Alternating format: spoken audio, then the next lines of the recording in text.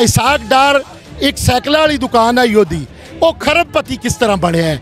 ਅੱਜ ਉਹ ਦੁਬਈ ਦੇ ਉਹਦੇ ਬੇਟੇ ਅੱਧੀ ਦੁਬਈ ਦੇ ਮਾਲਕ ਨੂੰ।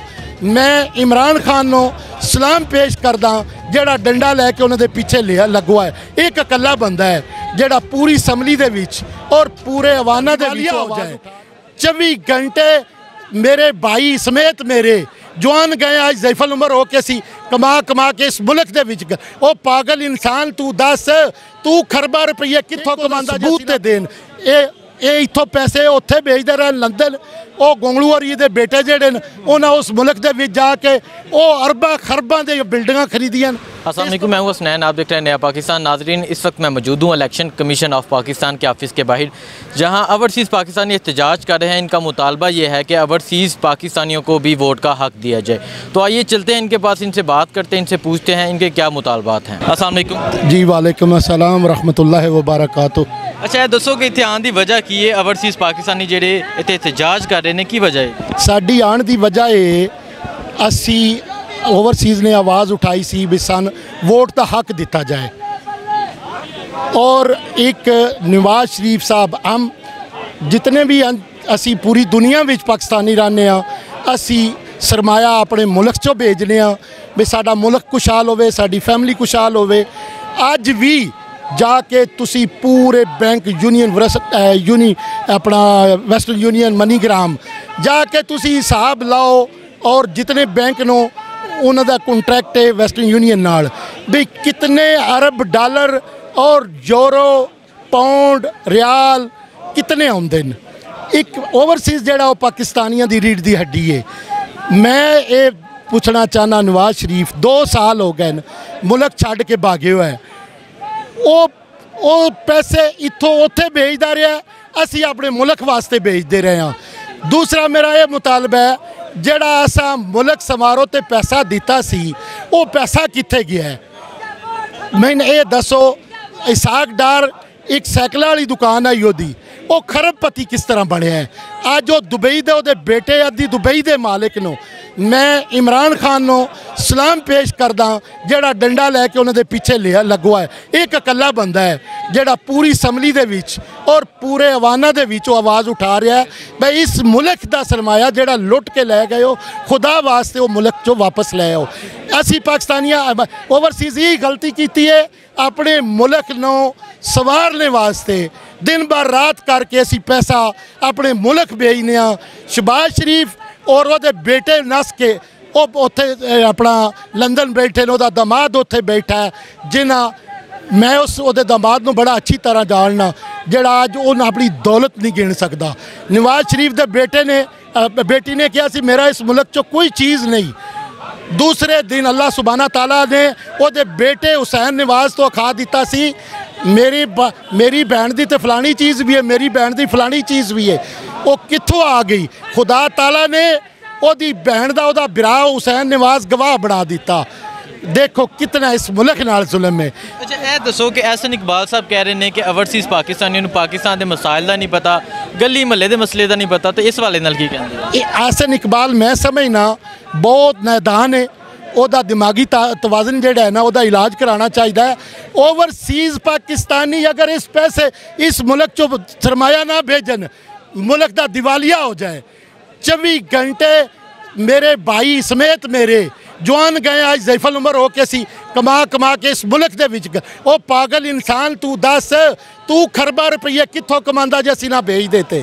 ਉਹਦਾ ਮੈਂ ਮੈਂ ਹਕੂਮਤ ਪਾਕਿਸਤਾਨ ਉਹਦੀ ਪਾਰਟੀ ਅੱਗੇ ਵੀ ਮੁਤਾਲਬਾ ਕਰਨਾ ਇਹਦਾ ਦਿਮਾਗੀ ਇਲਾਜ ਕਰਾਉਣ ਜਿਹੜਾ ਓਵਰਸੀਜ਼ ਨੂੰ ਜਿਹੜਾ ਉਹ ਗਲਤ ਬੁਰਾ ਕਹਿ ਰਿਹਾ ਹੈ। ਆਪੋਜੀਸ਼ਨ ਆਪੋਜੀਸ਼ਨ ਪਾਰਟੀਆਂ ਸੋਚਦੀਆਂ ਨੇ ਕਿ ਜੇ ਓਵਰਸੀਜ਼ ਪਾਕਿਸਤਾਨੀ ਜਿੰਨੇ ਵੀ ਨੇ ਉਹਨਾਂ ਦੇ ਵੋਟ ਇਮਰਾਨ ਖਾਨ ਦੇ ਵੋਟ ਨੇ।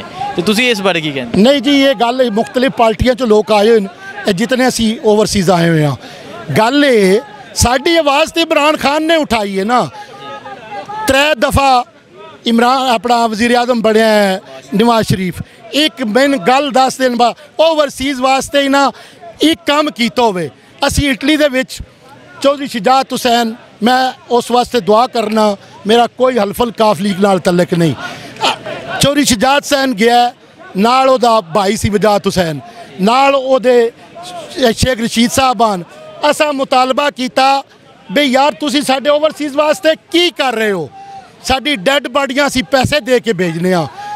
ਸ਼ਿਜਾਤ ਹੁਸੈਨ ਨੇ ਸਾਡੇ ਨਾਲ ਵਾਅਦਾ ਕੀਤਾ, ਜੇ ਮੈਂ ਜ਼ਿੰਦਾ ਰਿਹਾ ਤੇ ਉਹ ਜਿਤਨਾ ਯੂਰਪੀ ਦੇ ਵਿੱਚੋਂ ਫ੍ਰੀ ਡੈੱਡ ਬਾਡੀਆਂ ਹੋਣਗੀਆਂ। ਇੱਕ 20 ਦਿਨ ਬਾਅਦ ਸ਼ੌਕਤ ਅਜ਼ੀਜ਼ ਵਜ਼ੀਰ ਆਜ਼ਮ ਆ, ਉਹ ਉੱਥੇ ਇਟਲੀ ਜਾ ਕੇ ਅਸਾਂ ਬਹੁਤ ਵੱਡਾ ਜਲਸਾ ਕਰਾਇਆ ਸੀ, ਉਸ ਜਾ ਕੇ ਐਲਾਨ ਕਰ ਦਿੱਤਾ।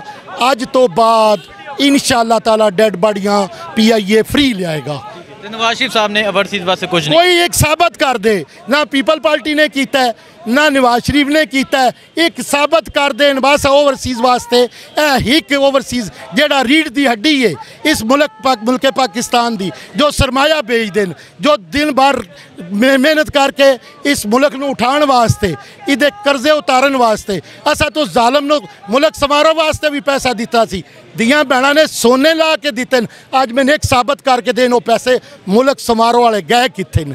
ਇੱਕ ਉਹਦਾ ਸਬੂਤ ਤੇ ਦੇਣ। ਇਹ ਇਹ ਇੱਥੋਂ ਪੈਸੇ ਉੱਥੇ ਵੇਚਦੇ ਰਹਿਣ, ਲੰਡਨ। ਉਹ ਗੋਂਗਲੂ ਔਰ ਇਹਦੇ ਬੇਟੇ ਜਿਹੜੇ ਨੇ, ਉਹਨਾਂ ਉਸ ਮੁਲਕ ਦੇ ਵਿੱਚ ਜਾ ਕੇ ਉਹ ਅਰਬਾਂ ਖਰਬਾਂ ਦੇ ਬਿਲਡਿੰਗਾਂ ਖਰੀਦੀਆਂ ਨੇ। ਇਸ ਤੋਂ ਵੱਡਾ ਜ਼ਾਲਮ ਹੋਰ ਕੌਣ ਹੋ ਸਕਦਾ ਹੈ? ਉਹ ਮੁਸਲਮਾਨ ਈਮਾਨ ਵਾਲਾ ਹੁੰਦਾ ਜਿਹੜਾ ਆਪਣੇ ਮੁਹੱਬੇ ਵਤਨ ਹੋਵੇ, ਜਿਹੜਾ ਆਪਣੇ ਮੁਲਕ ਵਾਸਤੇ ਅੱਛਾ ਸੋਚੇ। ਅਸੀਂ ਆਪਣੇ ਮੁਲਕ ਵਾਸਤੇ ਅੱਛ- ਖੂਨ ਪਸੀਨਾ ਦੀ ਕਮਾਈ ਜਿਹੜੀ ਉਹ ਆਪਣੇ ਮੁਲਕ ਵੇਚਦੇ ਆ ਆ ਮੇਰੇ ਭਰਾ, ਇਸ ਆਪਣਾ ਜੋ ਕੁਝ ਵੇਚ ਕੇ ਇੱਥੇ ਪ- ਕਲੋਨੀਆਂ ਬਣਾ ਰਿਹਾ ਪ੍ਰਾਪਰਟੀ ਜਿੰਨਾ ਪੈਸਾ ਇੱਥੇ ਸ਼ਿਫਟ ਕਰ ਲਿਆ। ਤਾਰਕ ਸ਼੍ਰੀ ਬੱਟੀ ਸਾਹਿਬ ਸਾਡੇ ਦੋਸਤਾਨ ਖਰਬਪਤੀ। ਉਹਨਾਂ ਉੱਥੋਂ ਵੇਚ ਕੇ ਇੱਥੇ ਤਾਰਕ ਹਾਈਟ ਬਣਾਇਆ ਹੈ ਆਪਣਾ F11 ਚੋਂ ਸਾਡਾ ਸੀ ਤੇ ਜੋ ਕੁਝ ਇਹ ਸਰਮਾਇਆ ਓਵਰਸੀਜ਼ ਜਿੰਨਾ ਬੱਚਾ ਵੀ ਹੈ, ਉਹ ਚਾਹੁੰਦਾ मैं अपने मुल्क जा पैसा लावा बहुत शुक्रिया अस्सलाम वालेकुम जी वालेकुम सलाम जी सर आप बताएं कि ओवरसीज़ पाकिस्तानियों ओवरसीज़ पाकिस्तानी यहाँ वोट का हक लेने आए हैं कि हमें वोट का हक दिया जाए क्या वजह क्या है कौन ची- कौन लोग रुकावट बन रहे हैं इसकी ਸਰ ਇਸ ਵਿੱਚ ਯਹੀ ਹੈ ਕਿ ਰੁਕਾਵਟ ਹੀ ਬਣ ਰਹੇ ਨੇ ਜਿਹੜੇ ਲੋਕ ਮਤਲਬ ਅਸੈਂਬਲੀਆਂ ਦੇ ਵਿੱਚ ਬੈਠੇ ਨੇ ਇਮਰਾਨ ਖਾਨ ਜਿਸ ਤਰ੍ਹਾਂ ਅੰਕਲ ਹੀ ਕਹਿ ਰਹੇ ਨੇ ਕਿ ਉਹਨਾਂ ਹੀ ਆਵਾਜ਼ ਉਠਾਈਏ ਔਰ ਜਿਸ ਤਰ੍ਹਾਂ ਨੂਨ ਲੀਗ ਇਹਦੀ ਮੁਖਾਲਫਤ ਕਰ ਰਹੀ ਹੈ ਸਿਰਫ ਔਰ ਸਿਰਫ ਇੱਕ ਹੀ ਸਵਾਲ ਦਾ ਜਵਾਬ ਦਿੱਤਾ ਜਾਵੇ ਕਿ ਮੀਆਂ ਸਾਹਿਬ ਉੱਥੋਂ ਆ ਕੇ ਇਲੈਕਸ਼ਨ 5 ਸਾਲ ਬਾਅਦ ਇੱਥੇ ਲੜ ਸਕਦੇ ਨੇ ਔਰ ਸਨ ਆ ਕਿਉਂ ਨਹੀਂ ਵੋਟ ਦਾ ਦਿੱਤਾ ਜਾ ਸਕਦਾ। ਔਰ ਉਹਦੀ ਬਾਅਦ ਜਿਹੜਾ ਉਹ ਸਮਝਦੇ ਨੇ ਕਿ ਅਸੀਂ ਮਤਲਬ ਮੁਲਕੀ ਹਾਲਾਤ ਤੋਂ ਵਾਕਿਫ ਨਹੀਂ। ਮੇਰੇ ਖਿਆਲ ਨਾਲ ਜਿਹੜੇ ਬਾਹਰ ਰਹਿਣ ਵਾਲੇ ਬੰਦੇ ਨੇ ਉਹ ਜ਼ਿਆਦਾ ਮੁਹੱਬੇ ਵਤਨ ਨੂੰ ਔਰ ਉਹ ਜ਼ਿਆਦਾ ਅ, ਹੀ ਮੁਲਕ ਦੇ ਮ- ਮਾਮਲਾਤ ਨੂੰ ਬੜਾ ਅੱਛੀ ਤਰ੍ਹਾਂ ਸਮਝਦੇ ਨੇ। ਮੇਰੇ ਖਿਆਲ ਨਾਲ ਇਹ ਜ਼ਿਆਦਤੀ ਹੈ ਸਾਡੇ ਨਾਲ। ਐਸਨ ਇਕਬਾਲ ਸਾਹਿਬ ਕਹਿ ਰਹੇ ਨੇ ਕਿ ਪਾਕੀ ਓਵਰਸੀਜ਼ ਪਾਕਿਸਤਾਨੀਆਂ ਨੂੰ ਕੋਈ ਮਸਾਇਲ ਦਾ ਨਹੀਂ ਪਤਾ ਕਿ ਪਾਕਿਸਤਾਨ ਤੁਸੀਂ ਇਹ ਸਮਝੋ ਕਿ ਕਿਉਂ ਨਹੀਂ ਸਾਨੂੰ ਮਸਾਇਲ ਦਾ ਪਤਾ? ਅਸੀਂ ਤੇ ਇੱਕ ਇੱਕ ਬੰਦਾ ਅਗਰ ਬਾਹਰ ਗਏ ਆ ਤੇ ਸਾਡੀ ਫੈਮਲੀਆਂ ਤੇ ਸਾਰੀਆਂ ਇੱਥੇ ਨਾ, ਉਹ ਸਾਡੇ ਨਾਲ ਜੁੜੀਆਂ ਨੇ ਔਰ ਅਸੀਂ ਜਿਤਨਾ ਵੀ ਮੁਲਕ ਤੋਂ ਬਾਹਰ ਰਹਿ ਲਈਏ, ਲੇਕਿਨ ਸਾਡੀ ਮਤਲਬ ਜਿਹੜੀ ਮੁਹੱਬਤ ਹੈ ਜਾਂ ਜੋ ਸਨ ਮਤਲਬ ਸਾਡਾ ਪਿਆਰ ਹੈ, ਉਹ ਇਸ ਪਾਕਿਸਤਾਨ ਦੇ ਨਾਲ ਹੀ ਹੈ। ਮਤਲਬ ਉਹ ਅਸੀਂ, ਇਹ ਕਿਵੇਂ ਹੋ ਸਕਦਾ ਹੈ ਕਿ ਅਸੀਂ ਜਿਤਨੀ ਵੀ ਕਮਾਈ ਕਰ ਲਈਏ, ਲੇਕਿਨ ਜੋ ਸਕੂਨ ਸਾਨੂੰ ਆਪਣੇ ਮੁਲਕ ਦੇ ਵਿੱਚ ਮਿਲਦਾ ਉਹ ਬਾਹਰ ਨਹੀਂ ਮਿਲਦਾ। ਔਰ ਇਹ ਸਾਡੀ ਮਾਂ ਹੈ, ਕਿਸ ਤਰ੍ਹਾਂ ਹੋ ਸਕਦਾ ਕਿ ਅਸੀਂ ਅਸੀਂ ਪਾਕਿਸਤਾਨ ਦੇ ਹਾਲਾਤ ਤੋਂ ਵਾਕਿਫ ਨਾ ਹੋਈਏ? ਮੇਰੇ ਖਿਆਲ ਦੇ ਮੁਤਾਬਕ ਉਹਨਾਂ ਨੂੰ ਇਹ ਚੀਜ਼ ਸਮਝਣੀ ਚਾਹੀਦੀ ਹੈ, ਸੋਚਣੀ ਚਾਹੀਦੀ ਹੈ ਕਿ ਅਗਰ ਇਹ ਲੋਕ 5-5 ਸਾਲ ਬਾਹਰ ਰਹਿ ਕੇ ਉੱਥੋਂ ਆ ਕੇ ਇੱਥੇ ਇਲੈਕਸ਼ਨ ਲੜ ਲੈਂਦੇ ਨੇ, ਤੇ ਅਸੀਂ ਤੇ ਸਿਰਫ ਵੋਟ ਦਾ ਹੱਕ ਮੰਗ ਰਹੇ ਹਾਂ ਔਰ ਅਸੀਂ ਸਹੀ ਬੰਦੇ ਨੂੰ ਵੋਟ ਦੇਣਾ ਕੋਈ ਇਹ ਤਾਂ ਨਹੀਂ ਕਿ ਇਮਰਾਨ ਖਾਨ ਨੂੰ ਲਾਜ਼ਮੀ ਦੇਣਾ। ਕਿ ਇਮਰਾਨ ਖਾਨ ਸਾਹਿਬ ਮੁਲਕ ਵਾਸਤੇ ਸਹੀ ਕੰਮ ਕਰਨ ਦੇ, ਤੇ ਅਸੀਂ ਇਮਰਾਨ ਖਾਨ ਵੋਟ ਦੇਵਾਂਗੇ ਅਗਰ ਦੂਸਰੀਆਂ ਪਾਰਟੀਆਂ ਮਤਲਬ ਮੁਲਕ ਵਾਸਤੇ ਅੱਛਾ ਕੰਮ ਕਰਨ ਦੀਆਂ, ਤੇ ਅਸੀਂ ਦੂਸਰੀਆਂ ਪਾਰਟੀਆਂ ਨੂੰ ਵੀ ਸਾਡੀ ਕਿਸੇ ਨਾਲ ਅਨਾਤ ਹੀ ਨਹੀਂ। ਅਸੀਂ ਤੇ ਉਸ ਬੰਦੇ ਨੂੰ ਸਿਲੈਕਟ ਕਰਾਂਗੇ ਜਿਹੜਾ ਮੁਲਕ ਵਾਸਤੇ ਅੱਛਾ।